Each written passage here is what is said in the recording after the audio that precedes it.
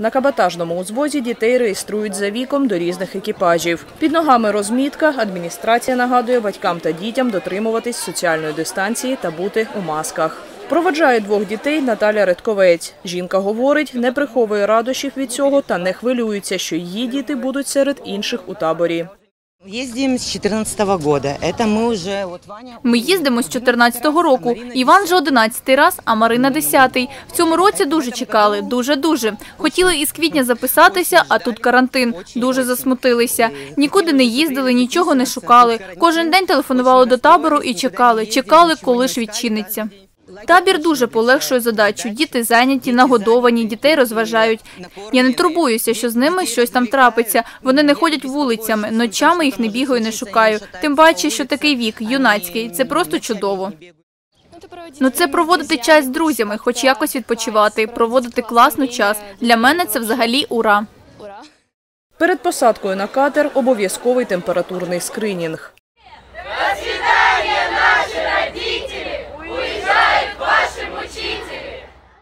Причалу до табору дістаються протягом 25 хвилин.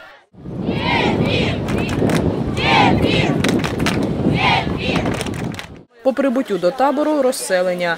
Кімнати неповні, одна людина на 5 метрів квадратних. Це одна із змін, які введені через адаптивний карантин, говорить старша вихователька Ганна Паламар.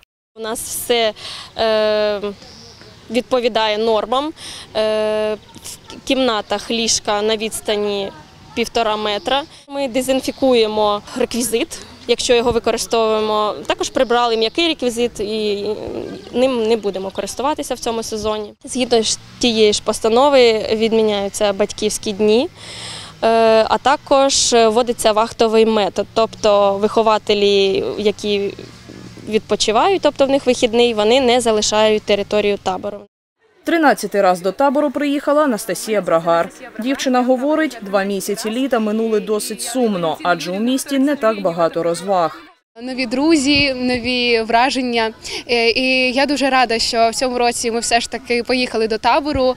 Е, Я зовсім не боюся пандемії, адже вважаю, що саме цей табір в першу чергу е, турбується про здоров'я і безпеку дітей.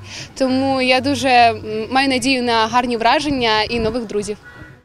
Щодня відпочиваючим та персоналу закладу вимірюватимуть температуру. Якщо при щоденному скринінгу у дитини температура більше ніж 37,2, ця дитина ізолюється в індивідуальний бокс.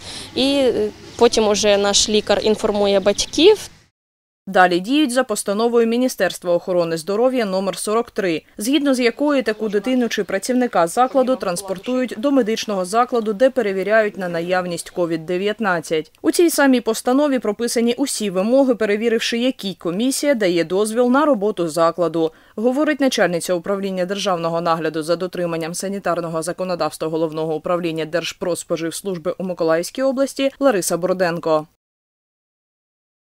Основні вимоги вони передбачаються. Це е, по е, ну знаєте, більш е, такий акцент великий саме на дотримання всіх протиепідемічних умов. Тому тут акцентується увага те, що нове, що збільшення кількість для е, знаходження на одну дитину це 5 метрів на дитину. Це обов'язковий е, температурний скринінг, який приїжджає, це обов'язкова наявність е, медпрацівника, який е, ну який працює.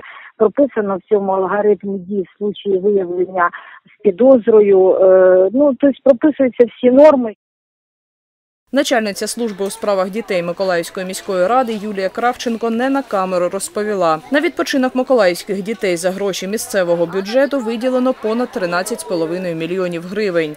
1 і 2 серпня на відпочинок поїхали 600 дітей до трьох таборів у Миколаєві, Очаківському та Березанському районах. Зміни триватимуть два тижні. Якщо Миколаївщина залишатиметься у зеленій зоні, за два тижні на другу зміну заїдуть інші діти. Валентина Гурова, Василь Філімон. Новини на Суспільному. Миколаїв.